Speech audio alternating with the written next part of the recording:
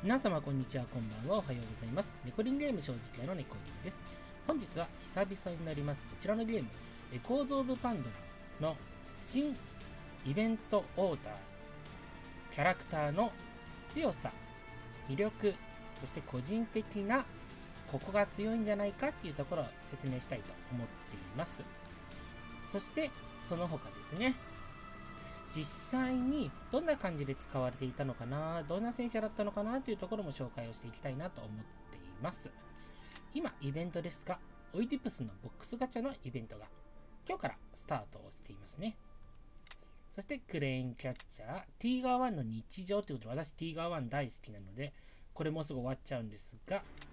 ピカポーダーではね、マウス、スティルムティーガー、そしてユッカッターってことで、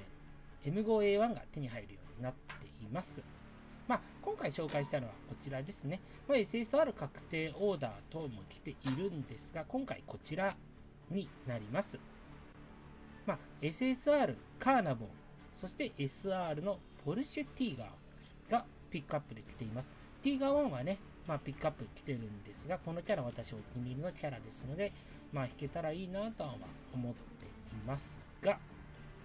実際ちょっと見ていこうと思います。まあ、ティガ1はね、以前説明させていただいたので、今回はしません。今回ね、新ピックアップで出てきましたカーナボンについてまず説明させていただきたいと思います。まあ、重戦車ですよね。スキルですが、10型ユニットということで、説明、自身が敵ユニットとの接触時にダメージを受けず、敵に最大耐久値の2%のダメージを与える。さらに戦闘開始時、自身に最大耐久値の12%のシールドを付与。ということで、まあ、重戦車の10型ユニットということで、まあ、重戦車特有だと結構こういった能力を持っていることも多いです。まあ、見てもらったら分かる通り、重戦車って硬いんですけれども、最大値の2%のダメージを接触時与えるということで、こちらはダメージを受けにくいことが特徴になっています。12%のシールドを持っていますので、まあ、他のキャラクターに比べたらやはり重戦車、硬いまあ、味方としても、まあ、ガードとしても使えるかなという感じになっています。そしてこちらですね。位相走行。魔法弾を発射し、命中した敵に7.5秒間凍結かつ沈黙させるという能力を持っています。まあ、状態上効果の能力になりますよね。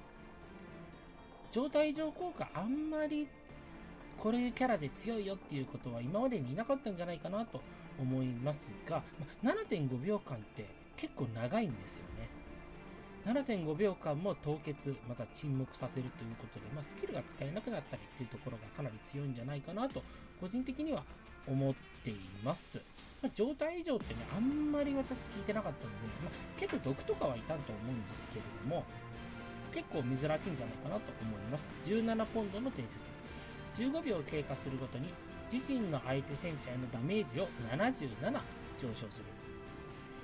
相手自走砲へのダメージを77上昇。最大3回上昇する。該当効果は体調効果スキルで発動できる。ということで、まあ、体調の効果スキル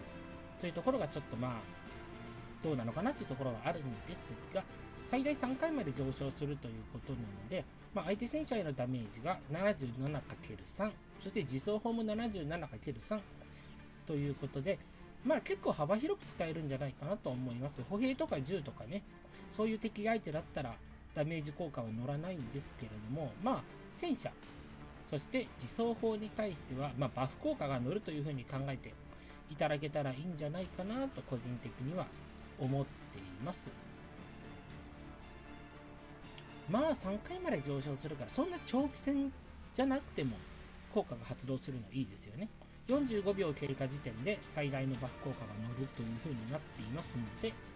まあ、長期戦じゃなくても強いっていうところは結構いいんじゃないかなと思います。そしてまた重戦車なのでね、まあ、パーティーによっては重戦車軸で戦う方なんかは結構火力としてもいいんじゃないかなというのは重戦車ってあんまり火力が高いキャラがいないのでカーナボンはかなりいいんじゃないかなと思っていますお初にお目にかかります。あなたに奇跡をもたらすマジシャンカーナボンでございます。そんなカーナボンなんですが少しだけお話をさせていただきたいと思います、まあ、カーナボンなんですけれども FV221 のカーナボンという風になっているんですがこれってねあれなんですよね。FV214 っていうのが、まあ、あるんですけれども、まあ、このシリーズ、コンカラーっていうんですけども、FV214 コンカラーというものなんですけれども、まあ、第二次世界大戦後にイギリス陸軍が開発、保有した重戦車になっています。まあ、征服者とか勝者っていう意味がコンカラーにあるんですけれども、そのコンカラーの車体がもうあるんですけれども、その車体にセンチュリオンの砲塔を搭載したものが FV221 カーナボンというふうに言われております。まあ、派生系ですよね。コンカラーの派生系というふうに言ってばいいんじゃないかなと思います。まあ、その試作型がカーナボンマーク1、そして生産型21両の製造がされたのがカーナボンマーク2というふうになっています。なので今回ね、このカーナボンについては試作型というものになっています。まあ、センチュリオンっていうのもね、もちろんいるんですけれども、センチュリオンがね、あの、コンカラーが55口径の 110mm のライフルなんですけれども、センチュリオンはそれに対して66.7口径20ポンド砲と51口径の 105mm ライフルを載せているんですよね。また副武装についても、あのマーク3から4に関しては 7.92mm 機関銃という風なものがあったりしています。出力に関してはコンカラーが強く、砲塔とか主砲に関してはセンチュリオンが強いということなので、両取りしたものというのがこのカーナボンになるかなというふうに考えていただけたらいいのかなと思います。まあ、カーナボンの視点を得てからの本命のその FV214 コンカラーの試作者っていうのが、まあ、1950年代にできたということなんですよね。で、1955年には、まあ、あの T10 戦車、まあ、ソ連車のね、そういったものとかからの改良型マーク2、マーク3に発展したというふうにも言われております。まあ、コンカラーはね、あの、ボービントン戦車博物館で、あのレストアされた稼働状態でまだ動いてたっていうのもね、あるということで、まあ、動いてたというか、そこに余生を送っているというか、なんというか、まあ、最後の展示されているというか、そういう感じのね、ものが今でも現存するというところです。まあ、カーナボっていうんですけど、まあ、ほぼ車体はコンカラーなので、コンカラーとセンチュリオン、そしてカーナボについて語らせていただきました。じゃあ次、こちらですね。ポルシェティーガー。ポルシェティーガーに、ボルごめんなさい、ポルシェティーガー。噛んだ噛んだ ポルシェティーガーについていきたいと思います。VK4501 の P 入隊します。今後はポルシェティーガーでということで、まあ、重戦車ですね。こちらも能力は同じです。10型ユニットの能力を持っています。混合動力。範囲攻撃砲弾を2発発射し、命中した敵に火力の82.1%プラス738ダメージを与える。撃破した場合はさらに自身の耐久値を6%と6%のレイジゲージを回復。ということで、まあ、あの撃破した場合の体力回復、レイジゲージ回復というのは強いんですが、まあ、火力はそこそこあるんですよね。まあ、2発発射ということで。ただ、まあ、これ撃破しないと乗らないので、なかなか難しいのかなと思います。まあ、通常ストーリーモードやってる時とかに、その辺の雑魚敵というか、まあ、モブ戦車、モブ敵、モブ戦車等と戦う場合は、まあ、このスキルを使って倒した場合、耐久値、レイジゲージが回復するということになるので、まあ、ボス戦とかだとちょっとどうなのかなという感じはします。ただまあ、ストーリー上ね、戦う場合とかは結構、発動する機会も多いんじゃないかなというふうには考えています。まあでもスキルは乱用できるわけではないので、まあちょっとしたヒーラーみたいなものと考えればいいのかな。ただしまあ自分にかかる感じなんですけれども。ではですね、競争相手。チームにティーガー1がいるとき、自分自身の最大耐久値6.4%、火力上昇4.7%、走行上昇7.3%、で、貫通が7.8%上昇と。体調指令の体調効果によって発動すると。いうことで、まあ、体調指令っていうのがまあ必要になってくるということなんですが、まあ、今回同時にピックアップされているということもありまして、ポルシェティーガーはティーガー1がいるときにこのような能力が上がる。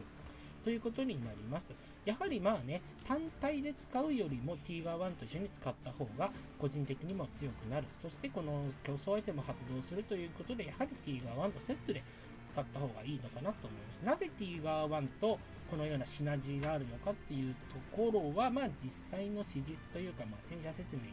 関連するのかなと思うんですけれども。まずティーガー1っていうのがねティーガー1この子なんですけれども、まあ、ティーガー1っていうのは2種類の施策を得て正式採用された経緯っていうのを持っているんですよ。まあ、採用されなかった試作車両というのがこの6号戦車ティーガー P ということでポルシェティーガーというものになるんですよね。まあ、設計自体はフェルディナント・ポルシェという方が作られたということなのでそこからポルシェという名前を取ってポルシェティーガーというふうに名乗ったということになっています。まあね、構成というものは、まあ、あの、4号戦車の構造を引き継いだ上に T34 のような、まあ、そういったなんか局面化された走行形状も持っていないというのが特徴になってた。まあ、垂直構成というのが特徴になっているよというふうになっている戦車となっています。まあ、あの搭載搭載したあの空冷エンジンっていうのがあるんですけども、この空冷エンジンがまあ最初から問題を抱えていたよっていうことがあったらしいんですよね。まあ、その問題があったっていうのも結構どうなのかなというふうに言われていたそうです。まあ、このポルシェ博士というものが作ったまあ走行装置などなどもまあ方向性は今までも問題ないというふうに言われていたそうです。まあ、あの、そのシャーシね、本社に、本社っていうかまあ、これね、ポルシェティーガーに、ごめんなさい、ティーガー1のものだったね。ポルシェティーガーに乗っているシャーシを流用したものとしてまあ、あのヤークトティーガーね、後々ヤークトティーガーの一部車両にも今後は用いられることになったっていうことで、まあ、採用はされなかったんですけども、この戦車に採用されていた部品は後々のティーガーにも乗っていったということが結構重要な役回りだったのかなというふうに思っています。まあ、でもやはりね、まあ、歴史の中で埋もれていってしまったティガというところでちょっと残念だなというところでもありますがまあねそこからそこから最終的にねあの90両のティーガー戦車駆逐車まあ、フェルディナントっていうんですけどもそういったものへのねつながりのために重要だったティーガーであるということでね。まあやはり必要経費だったのかなというふうに思っています。まあ正直いいですよね、まあ、私はやっぱこのティーガー1が大好きです。このティーガー1本当大好き。使ってます。大好きです。はいというわけで今回このオーダーねちょっと弾ける限り弾こうと思います。よろしくお願いします。単発オーダーで単発鏡でいきます。5回、単発鏡です。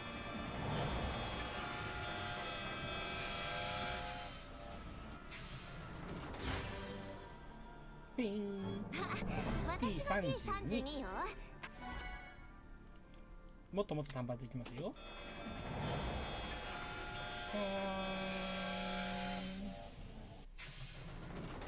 パカン KV1、カーベイ1ですね。カーベイ1結構ですね。戦車ゲームやってたんですけど、カーベイ1結構使ってた気がします。次は星2が多いかな ?M2A1。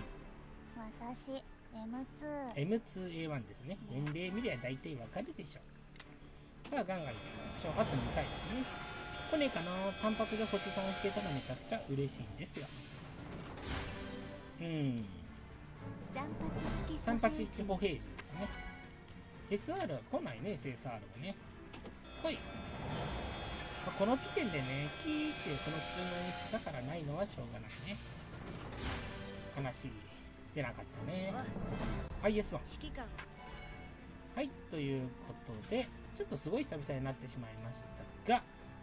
エコーズ・オブ・パンドラ説明と強さね、ある程度個人的に説明させていただきました。今後もね、またちょこちょこまあ、エコパンも撮れたらいいかなというふうに思っています。ご視聴ありがとうございました。よろしければチャンネル登録、グッドボタンぜひぜひよろしくお願いいたします。また別の動画配信でお会いしましょう。それでは皆さんさようなら。またね